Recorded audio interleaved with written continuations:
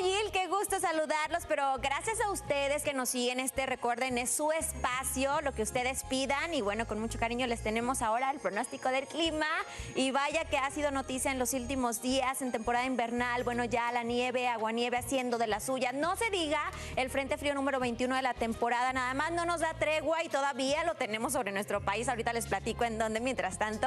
temperaturas actuales son las 8 con 24 minutos y tenemos la temperatura ya mucho más fría aquí en la Ciudad de México, que no estamos muy acostumbrados, así es que oscilando en los 10, 11 grados centígrados, mientras que en Chihuahua no sé, de 3 solamente actualmente Ciudad Juárez 10 y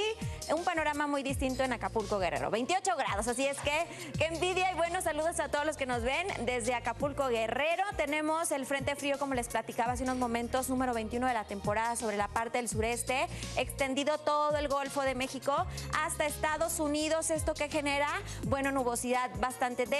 También tenemos evento norte de muy fuerte intensidad. Esto estará generando que los vientos sean bastante fuertes, rachas de hasta 80 o 110 kilómetros. Esto principalmente en Tehuantepecano. Así que a extremar precauciones, navegación marítima en inmediaciones del sistema, como siempre, no hacer caso omiso a las recomendaciones de protección civil. Lo que sí no hay el día de mañana casi son lluvias, así es que, bueno, lluvias, pero de felicidad. Tenemos solamente las más fuertes en Veracruz, Campeche, Tabasco, que por cierto en Tabasco ya veíamos hace unos momentos que ya se han reportado en las últimas 24 horas 230 milímetros de agua, así es que la población por favor no hacer caso omiso tampoco en estos puntos a las recomendaciones de protección civil, muy pocas precipitaciones, sin embargo en estos puntos sí continúa latente la posibilidad de lluvia, así que a cargar el paraguas tenemos los vientos de fuerte intensidad en buena parte del territorio nacional, península de Yucatán también, las temperaturas menores a 5 grados centígrados, también abarcando buena parte